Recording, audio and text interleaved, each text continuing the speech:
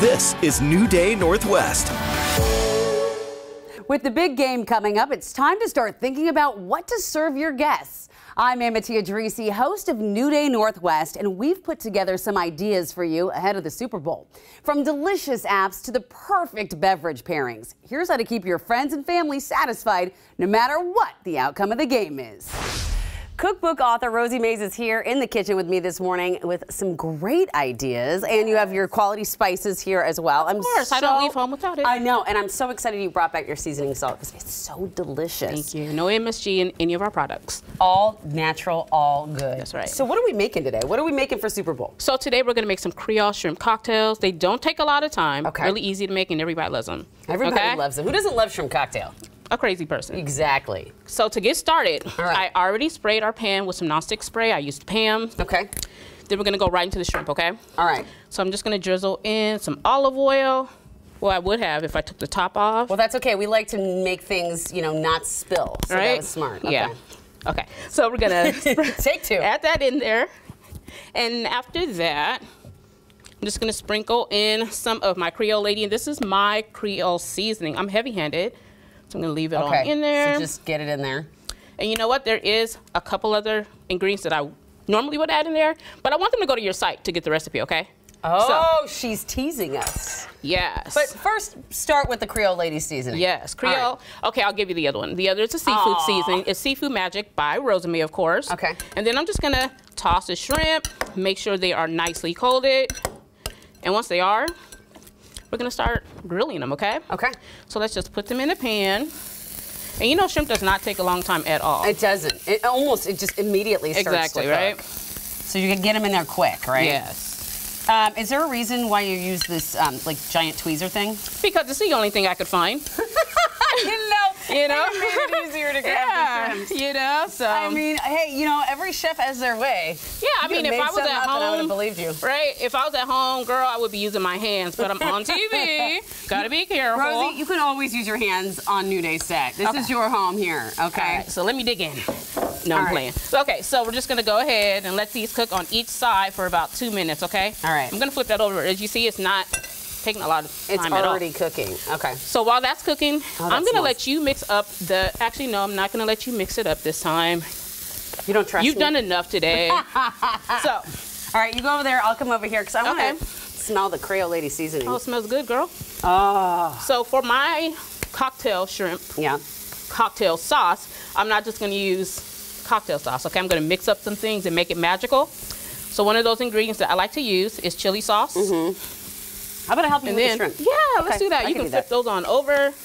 So I got the chili sauce up in there. I'm okay. gonna go behind you. All right. I'm gonna move this over because I am not accident prone. I am all the time. That's why you left the lid on the olive oil. You know me. and now I'm gonna use this stuff called Worcestershire that I always say wrong. So Worcestershire, Worcestershire, Worcestershire, W sauce. Okay.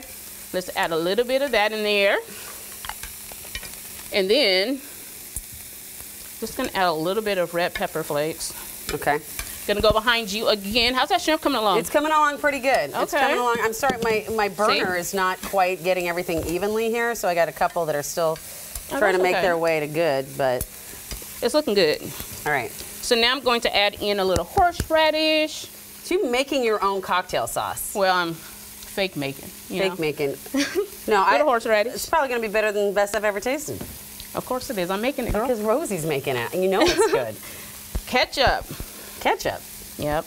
All right, just good old-fashioned ketchup. I know you don't like tomatoes, but you're gonna like this, okay? I mean, I like ketchup. I just don't like tomatoes in the raw. I like ketchup. I like sauce. But when okay. they're raw, they freak me out a little I bit. I could deal with that. Okay. So now we're gonna add some lemon juice. Yeah. And I have my cute little lemon juice squeezer here. That's cool. Yeah, you can get this from RosieMaysSeasons.com as well. Okay. Lemon juice. Oh, look at that. I know, how cute, right? I love that. All right. All right, and then you just whisk it all up together? Yeah. Really easy. This smells so good cooking. And I mean, and honestly, it just smells so fresh. Yeah. If I came into someone's house for Super Bowl and it smelled like this, I'd be so excited. So you know what we can start doing now? What can we start doing now? We're going to turn the heat off okay. the shrimp because you know if you cook shrimp too much, it's going to be gummy and rubbery, and everybody's going to talk about you and say Rosie had her made it like that. So I can't have that. So let's turn that off. you don't want your reputation exactly tarnished through my bad cooking. I, gonna, I guarantee you. I'm going to add in the sauce here. Okay. and we're gonna start adding some shrimp, okay? Okay. So How do you want me to put it in? you can just pile it on top. You don't have to be cute with this. Okay. Oh, you don't. You don't have this is for it. good eating, not cute eating. That's. I like Okay. that. It's you know when they take you to.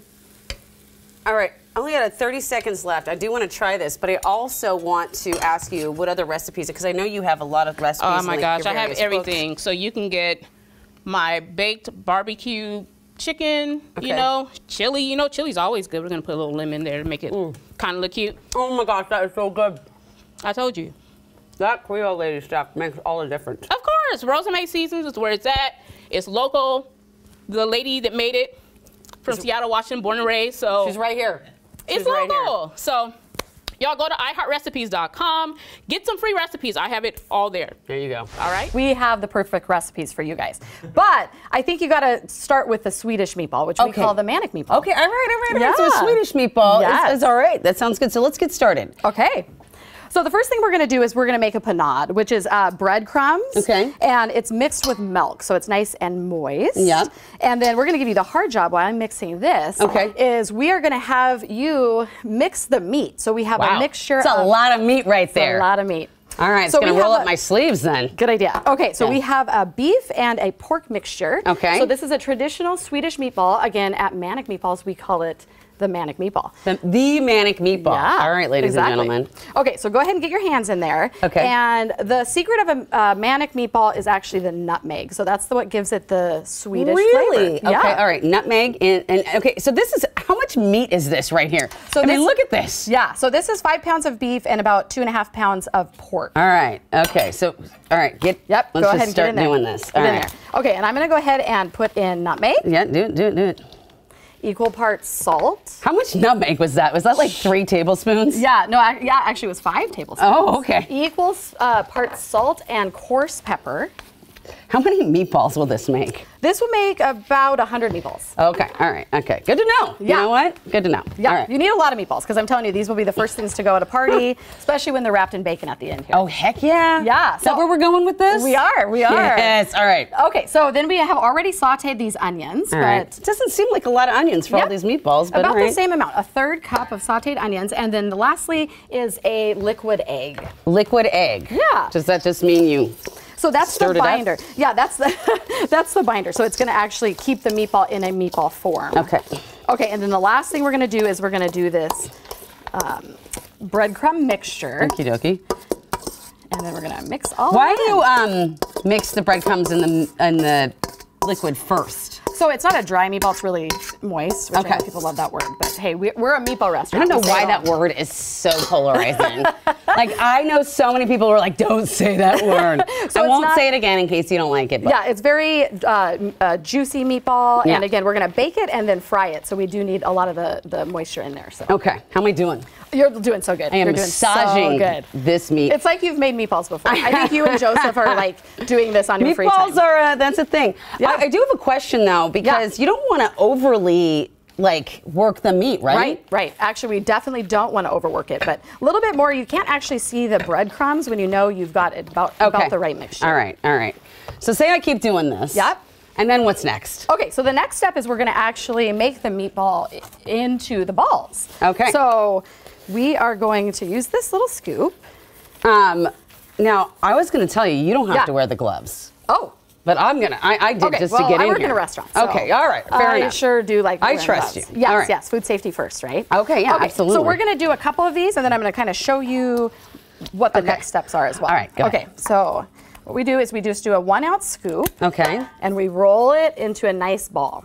Into a nice ball. Oh, okay. Yeah. Oh, I see. All right. Okay. There's your meatball. Let me try this. Yeah. So this is just like a, a simple thing. Yeah. Because that's where I always struggle with my meatballs. I try to eyeball it, and then, you know, doesn't always work out. But that's perfect. Okay. Yeah. So we keep throwing them in there. Yeah, and so then you go do that, and then I'm going to do the next step. So we have our, this is a, a thick cut applewood smoked bacon. Okay. So we've tried all of the different bacon uh, types, and Yep. actually this is actually really, really good. So this is a nice thick bacon. It holds up under cooking, and it gives you that bacon flavor that you're going to Okay. really look for. Okay, so you got three. We actually skewer them at the restaurant with three at a time. Okie doke. And the trick here is you're going to wrap the whole meatball in bacon, and then you're going to skewer it through that side. So Okie it doke. actually keeps the, the bacon on the meatball, of course, right? So I'm going to do three at a time. Okay. So what if like I I'm, I'm running last minute party. I don't have time to make my own meatballs. Can I do it with a pre-made meatball and then bake it, or is Yes, that going to be course. too nasty? Well, I mean, you're going to want to come to Manic Meatballs and order these. You know what? That's such a good point. but Forget it. definitely, definitely, you can get a pre-made meatball. Although the first to go at the parties, like we were talking Yeah. about. But pre-made meatball, and then um, th- th- usually they're already baked, but you bake them first, and then Okay. you can uh, wrap the bacon, in, the meatball in the bacon, and then Okay. finish fry them. and finish. Wait, finish fry them? Yeah. So what okay, we're going to do let's is talk about that. Let's talk about that. So we have, by the magic of TV, already baked meatballs. And now these you fry after we baked them? Yes. So you're going to put them in the oven for 350 for Okay. 16 minutes. So they're going to come out looking like this. They're all cooked now, essentially. now they're all cooked. You could eat them, but you want the bacon to be nice and crispy. Yes, we do. Yeah, and so that's what we do is we pan fry them. So you want to pan fry them until Okay. the bacon is visibly the the crispiness that you like. So oh, all we right. will put a couple in Okay, here. let's do it. Let's do it. Tell me about this concept for your restaurant, Manic Meatballs, because I know you also make an Italian meatball. We do. You make all the different meatballs. Yeah. Fast food meatballs, essentially. Where did you get up with this idea? So my husband is Swedish, so and he was always making these. We were making them for the football team, for our kids, for different holidays. Nice. Yeah, and so I just and I uh, came from a business owning family, and so I just really was like, I want to have a business, and then. Um, I kept thinking the more we made this, I'm like, I think there's actually a concept here. And then, you, and then you opened during the pandemic. Why? Why? Well, I the joke is that we're pretty ballsy. Ah, you're my favorite person today. Yeah, you can't you can't have a meatball restaurant and not be ballsy, right? I So- mean, I love a pun, and that's that, it, that's great. So, so you open the restaurant during Yeah. the pandemic. You still find a way to thrive. yes. And then Best in Chow Yeah. finds you. Tell me about that. Yeah, so Best in Chow asked to submit a couple ideas, and of course, like the bacon wrap meatball, that's pretty unique, right? Yeah. So we definitely wanted to have something that um, that would stand out, Okay. and so nobody else is doing a bacon wrap meatball. So these look pretty close to done. Okay, I'm got you here. Oh, okay, here we'll put them right here on this. Oh, plate oh, we're gonna put them on that plate We're right ready okay. for you. Okay, and then um, so we got chosen for the for the show, and of course it was a comedian that helped us do it, and he had a lot of fun with meatballs. Let's say that. And meatball jokes. Yeah, a lot of meatball jokes. But then, um, anyway, we were a finalist, so we didn't make it quite to the end, but we should have, obviously. You can tell us if you think we would have. I been a will. I will. I'm about to eat this meatball right Yeah. now. Um, so, by the way, what is this little sauce you got here? Okay, so the other thing, so we just keep coming up with good stuff at Manic Meatballs. We Mm-hmm. do have five meatballs every day. We have a, uh vegan um, Impossible Ball, actually. Oh, good. And so the other thing that we have here, I'm going to leave this one in here. Okay. Um, the other thing we have is our Manic sauce. So Manic sauce is a house-made fry sauce. Okay. That's delicious with anything, but hot. it's really good with our bacon wrap meatballs. Okay. So it's a house-made fry sauce, but it comes with um, lingonberries. Lingonberries. I is like love lingonberries. It's such a. Swedish Yeah. uh, uh, tradition. Yeah. Um, and so, I really want to try this meatball. It's a little hot. Woo. But I'm gonna I'm gonna try to get in there. Okay. Go eat her meatballs. Go eat them all. Holy, holy keto Batman, this is delicious. Delicious. Oh my god, I gotta hug you for this. Yay! Whether you watch the Super Bowl for the love of the game or whether you're watching for the commercials, there's one thing we all agree on. It's the snacks. We love Super Bowl snacks. All week long, we're sharing our New Day favorites, and today, producer Rebecca is sharing hers. Woohoo! We're making mini taco salads, but Yes. before we get to that, you've actually prepared a special beverage for us. What is this? This is um, the Tears of 49ers. The te- wow, not any shade at all in this drink. Not at all. How does the Tears of 49ers taste? Okay, so it's got um, squirt and some like white um, tequila. Right? Oh my gosh. Uh, well, this will get you through a, a loss of a game, that's for sure. But too much, well, Yeah. make you lose your our, um, salad. Our husbands are both 49ers fans and they're lots of tears. Lots of tears. I'm still hearing about it, by the way, like a week and a half later. I mean, Maybe this will help them get their minds I off hope of it so. I hope so. Okay, so, let's get started. How do we make taco salads? Mini taco salads. And so what we're gonna do is we're gonna make the little shells. oh, okay. And instead of tortillas, we're going to use little wonton wrappers. So you just stick them Oh, in very clever. here. Just one or two in each. Um, you know what? You could do two. Two makes it a little bit more stable. Do you want to do a couple of them here? There's sure, like I got four. you. I got you. Um, And you can either do it with like the regular size tins if you want them that are a little bit bigger, or the little mini. I like the little mini ones. They're pretty cute. Oh, you know, I'm gonna do. I'm gonna cross them like this, Oh, I so like that make that. it looks That's bigger. cool. And then you just spray it with a little bit of. Olive oil in there. Olive oil So you don't spray the pan oil? before you spray it in there. yeah, you're Okay. good. Getting crazy over here with the oil. Um, And then um, you bake them at 350 for five minutes, and Okay. they come out looking like this. How cute! It's like a little mini taco bowl. Okay. Yeah. And then, And then you just fill it with all your favorite stuff. so you ground beef obviously to fit in there. So Oh, I this actually, is ground turkey. Yeah, I like ground turkey. That's just my preference. But you could do like carnitas. Now, could do you, if you were going to do this at your house with the Super Bowl Sunday yeah. party, would you just leave it as a bar, or would you pre-make them for I mean, someone? you really could do it either way. If you don't want, if you don't like people touching your food, like. well, I mean, I don't mind if a host that. touches my food, but Um, and I know like some people don't believe in vegetables for Super Bowl, so you wouldn't have to do the Hmm. shreddis. I know you're not a big fan of the tomatoes, but like Mm-hmm. you know, everybody could do their own thing, or you could pre-make them. It's super, super easy. that is delicious. Right? I will say, maybe just one wonton shell. Oh, okay. A little bit Because thick. two might be just too hard to get through. Oh, oh, okay. It depends on how much crunch you want. Sure. And I guess um, if you only do it with one, you run the risk of it being just a little bit soft. Ah. So. Or just a little flimsy. Yeah. These ones you made with a tiny little one. I like those. These are little Aren't bite-sized. Cute. You could just pop it in your mouth. I mean, I'm I gonna would. try. I don't know. Wait. Yeah, do try it. See how it comes. It's a little crunchy. there you go. Oh my gosh, this is so much fun. And by the way, if you're not a monster like some people, you can actually add a little sour cream. You want some on yours? Absolutely not. nope. Mm. All right, thank you so much, Rebecca. Well, we are sharing the recipe for these mini taco salads. Just head over to our website or just text the word recipe to 206 448 4545. You'll get it right away, easy peasy. If you think that beer and soda are the only beverages that go with the meat lovers supreme, well, think again. Master sommelier Chris Tanghe joins us now to share his favorite wine and pizza pairings. And first of all, Yeah. T- say your last name for me. Tanghe. Tanghe. Add that was, I did you like that reel. I tried? Yeah, yeah. and this is on TV. Uh, I did try to add a little uh, swank to it, You know, but all right, works. That works. Um, let's it. talk pizza. Let's Cool. talk about pizza and wine because I have known for many years this has been great, but I don't think I've ever really put much thought into what goes with what. So I think that's super exciting. Yeah, so you know, beer goes great, of course, right? Mm-hmm. Uh, it's it's refreshing. You drink it cold. It can be very aromatic and delicious. But f- my argument and why wine is better Mm-hmm. is that wine has acid, right? It has brings freshness. When you take a uh, a sip from your glass, you're like, oh man, everything just gets washed away. Makes your mouth water. Makes you want to eat more. So it actually works really, really well, um, and it's less filling too. Like that old funny commercial, but it's true, right? Yeah. Um, so yeah, So- we have a whole host of wines here, and probably ones that you're not expecting. Uh, Well, that's what I'm excited about, and I really love that a master sommelier actually sees the benefit of pairing these together. So it looks like we've got bubbles for the first one. Yeah, who doesn't like bubbles, right? I mean, I don't know. I love me some bubbles. So here we have some prosecco. Okay. This is coming from northern Italy. Cheers. Cheers. Um, so this is made from the Glera grape from uh, our area around Venice called Veneto. Okay. And um, a lot of sparkling wines, aka champagne, that we're all probably most familiar with, are super expensive because they're a wine of process and they take a long time to make. So Yes. that's why they're expensive. But this is a slightly different process, which makes it uh, less expensive to produce and um, makes it more approachable for everyone. But the sparkling wine is not as expensive as the champagne. Right. Okay. So champagne's the region, sparkling wine's the category. Got it. Meaning bubbles. See, this is why I love having a sommelier here. Okay, so what kind of pizza is this? So this is just your classic margherita. Okay. Uh, so it would be tomato sauce, mozzarella, and uh, finished with basil.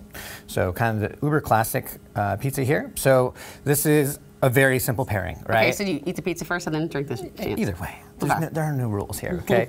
um, well, food and wine pairing can be as you know fun and, and simple Mm-hmm. as you want it to be, or as complex as you want it to be. So you don't have to stress about is this right. You know, people think about wine as being this uh, Oh, ultra intimidating thing. It doesn't have to be. It's just That this actually is really refreshing after the right? pizza. It's just very refreshing, and I'm gonna eat that. So don't don't eat my, the rest of my pizza. okay. Well, Mm. clearly, Mark, what's yours and what's mine. All right, what is this wine? One last thing. See, I just like flushes everything away off your palate, and you're does. like, okay, I'm ready for more. Yeah, right? I am ready for Yeah, more. Yeah, awesome. So next we have uh, some Pinot Noir from the south of France. Okay. Pinot Noir grows all over the world. It's a very famous variety. It's been in a lot of movies, et cetera, et cetera. Pinot Noir is my favorite wine. Did they tell you that? Oh, I, well, that's why I picked it. Ah, stop.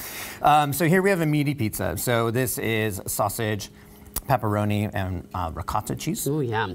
Um, so really here again you have the acidity of the wine, but also you have uh, tannins which pair really well with proteins. So works well Okay. with those meaty bits on there. And there's a lot of protein with the cheese and the meats. Exactly. Yeah, not just the meat, but also the cheese. Okay. Absolutely. I'm going to take your piece because it looks better than mine. Okay. We can, we can swap.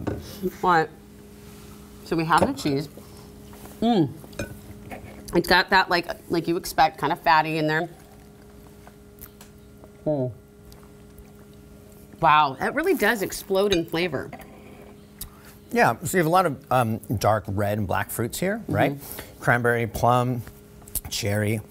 Um, all those things help kind of reinforce the tomato in the sauce because tomato is technically a fruit, right? Um, and you get some of those kind of almost fruity characteristics off That of it. literally delicious. Yeah. I mean, I've had Pinot Noir with a pepperoni pizza before, but I don't think I've appreciated it as much as I do with you today. Thank you. All Thank right. you. All right, this is another. Okay, this Okay. pizza here. Controversial. It's a controversial pizza. Ham and pineapple, Hawaiian pizza. Uh, also one of my favorites. Um, but what would you pair? Th- I mean, I would.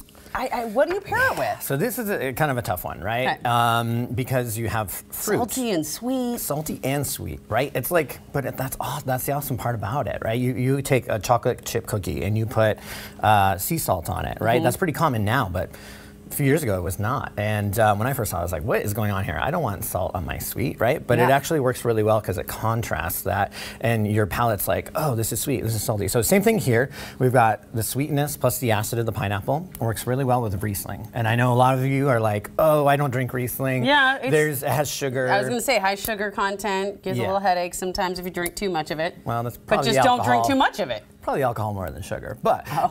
um, sugar. this is a dry one. Uh, Okay. So there's there's no sugar to this, and actually most of the Riesling that's produced is dry. The sweet ones are great too for certain applications, but uh, the dry ones are great for a lot more. So For a ham and pineapple pizza, you definitely want a dry one, is what you're saying. yeah, I would. That's what I would recommend. Um, so you have actually kind of tropical fruits in this Riesling. Mm-hmm. So there's uh, notes of mango, pineapple, papaya, Mm. etc. So it bridges those similar flavors really, really well. Um, they also can tend to be a little bit lower alcohol too, which is kind of nice. Mm. Um, While so you yeah. were saying it, I was smelling it and, and smelling all those fruits. Mm-hmm. And when you taste it, it's very smooth together. Yeah. If you don't like ham and pineapple pizza, you should try it just to pair it with this Riesling, because that is really, that is really good. And if you did like your wine with a little bit of sweetness, you could do an off-dry Riesling, and then you could add a little jalapeno to this. Oh. So you get spicy and sweet, and it's awesome. Now you're So, cooking so with good. gas. Yeah. Oh, I love it. All right, finally, we have my, my other favorite wine, Sauvignon Blanc, Mm-hmm. and uh, this is a this is a beautiful pizza. This is uh, what kind of pizza is this? So this is uh, prosciutto, uh, Yes. and it's finished with some fresh arugula. So you get this kind of herbaceousness from Mm-hmm. the arugula, which pairs really well with the herbaceousness of the wine itself. So Sauvignon Blanc always has this kind of green bell pepper, Mm-hmm. sage, rosemary. Kind of characteristic, along with really ripe fruits, um, and this is one of my favorites from from Okay. Washington here. Let me smell. Uh, very good, very salty. And you. Mm. Oh my gosh. This right here, that is summer. Mm-hmm. That is summer at like a concert. Mm-hmm. I So, love it. definitely, yeah, more of a warm weather pairing. Excuse me. This one you could do anytime. Actually, all of these you could do anytime. I mean- I think this with the arugulas, yeah. I mean, this is actually, and you know what's so fun is that who doesn't love pizza? But what a great way to, I don't know, liven up your pizza night. Even with my girlfriends, I can't wait to have them do this. Actually, you just gave me a great idea for the next book club. Everyone brings Awesome. a pizza and a wine pairing. For even more recipe ideas from New Day Northwest, text the word recipe to 206 448 4545. Thanks for spending time with us and get out there and enjoy your new day.